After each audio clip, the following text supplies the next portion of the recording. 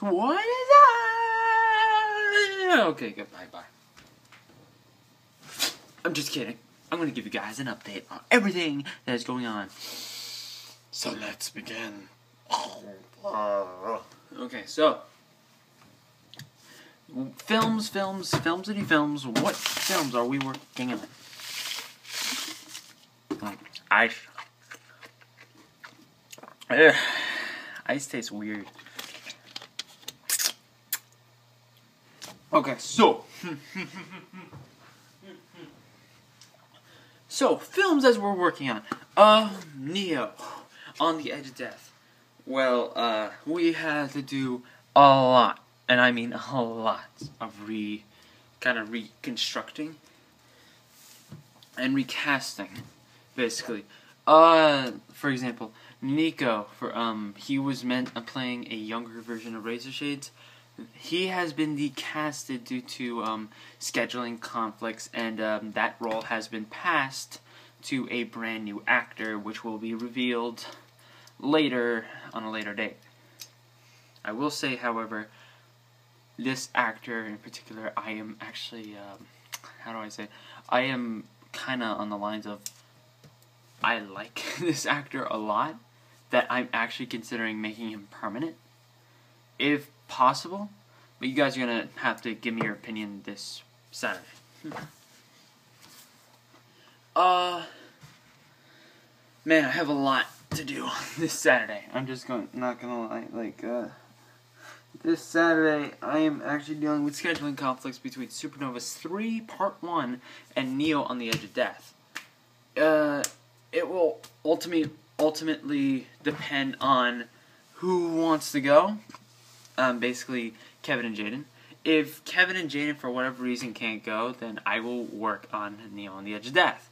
If Neo on the Edge of Death cannot be done for whatever reason, I will just simply go to Secaucus, finish part one, grab Kevin on Friday ish, film all the other takes in here in Bayonne, and then like we'll just finish all the remaining takes in Secaucus, as it should be. oh. So that's how you use a lighter. That's actually pretty cool.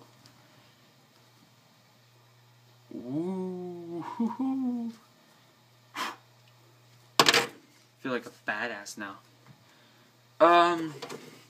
Now, Detective Freeze Darkness Over Shadowcast. That is scheduled to hit four weeks from now. You are four weeks away from the sequel to our most popular franchise. And obviously, um, favorites are coming back. Of course, Detective Freeze. And of course, this story is going to be telling the story about Miles Light and Shadowcast, as known from source material. Uh, there were two kind of what's in my trilogies, but however, two of those characters have became relevant recently due to um, upcoming films. Like for example, the guy with the orange mask, he is playing a incredibly huge role in um, the upcoming in the upcoming um, Supernovas 3 Part 1 and Part 2. He plays literally the key role. And then Darkness Over Shadowcast is the guy that Mariano played. However, he will be recasted um, to somebody that actually has been currently casted. Now, also on some other people, Miguel played this role of um, a Shadow Guard, but again, due to scheduling conflicts, he has been taken out of the project entirely and recasted with um, this other actor named Albert, which I actually do like. I, I, I am actually a huge fan of this. Uh, if Neo on the Edge of Death is successful, if it's successful, then I will stick to this new cast. Like, for Edge of Death, um, certain characters will cross over. Um, but, however, if you guys absolutely hate it, and trust me, if you guys hate the cast, if you hate Stanley, if you hate all that, I will recast them. Do not worry. But I want to give them a shot, and trust me, I do think you're going to like this. It's more of on the lines of a realistic thriller. The and there's not actually there is no magic or sorcery in it. The only thing it is is because Razor Shade's power is teleportation. That is it. There is only teleportation in this movie. However, the amount of special effects have been doled down. There is like there was a scene that Stanley pitched that Dark Aura got so conflicted within Neo that he shot like a energy beam into the sky, and I I've said this in a vlog I deleted. I hated that idea. I oh my god, like like Neo shooting that. Uh, no way. That, that no. I, I literally went to the creator the creator of the series.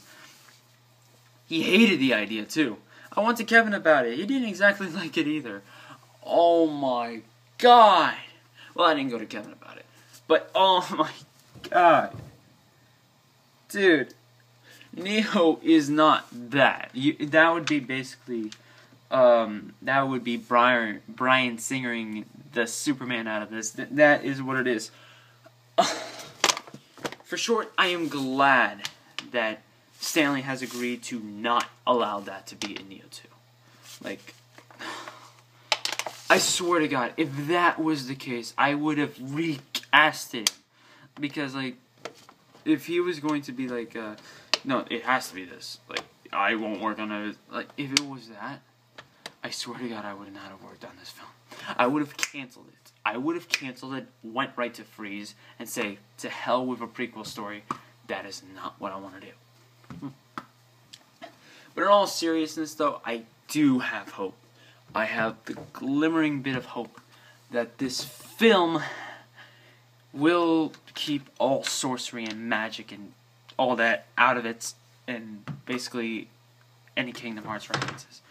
You guys noticed in the first movie, there was that scene with Stanley, and I guess that's like a requirement of him, like, you have to have a Kingdom Hearts reference or something. I am dulling that down. Like, that is not Neo. That is not the character he signed up to be. And that is surely not anything through source material. That is not what we're going to do. Neo 3, however, I may give him creative control on that as long as it ends a certain way. As long as, like, for say, like, this dark aura powers do not stay with him. Like, it's a one shot, they go away. And, um, yeah, that's basically what I mean. Like, dark aura, all that, leave it for later. I am not putting that in Neo 2. There's no way. And you're welcome on that. No offense to Stanley. Abs- uh, absolutely. He's a great writer as it is, as well as much as I know. But um, uh, you can't exactly do that to a character that has um, that has like a certain tone to him. Like giving Batman superpowers would be the most horrible thing you can do. And Neo's our Batman, and we don't want to give him superpowers. He's just a blind guy with a little bit of super strength and super speed. Overall, he's human. He's just a human that's blind.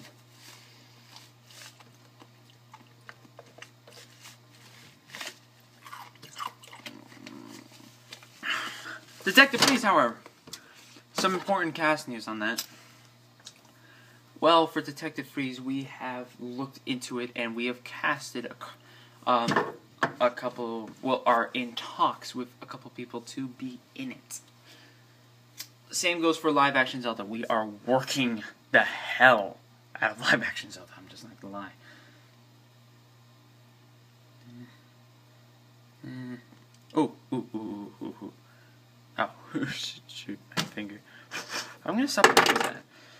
Your parents told you to never play with fire, and I'm not gonna do that. But I think these guys will be interested in doing live action Zelda, and I wouldn't mind it. Not only that, but it would be kind of the launching pad to say, "Bae, see these guys? We don't want to put them in freeze right away. Make sure, like, put them in live action Zelda. Make sure that these guys will succeed." I'm going to ask that. I am going to put that in. I'm going to say, I want you to do live action Zelda. If it's successful, if like you guys rock, basically, we will hire you. That's final. We will hire you on doing that.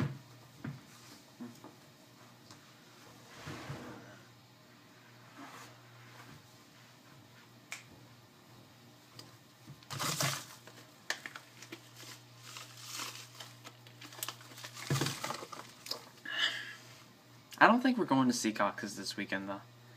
Don't know. It's just that like I made plans. But I'm gonna look into it.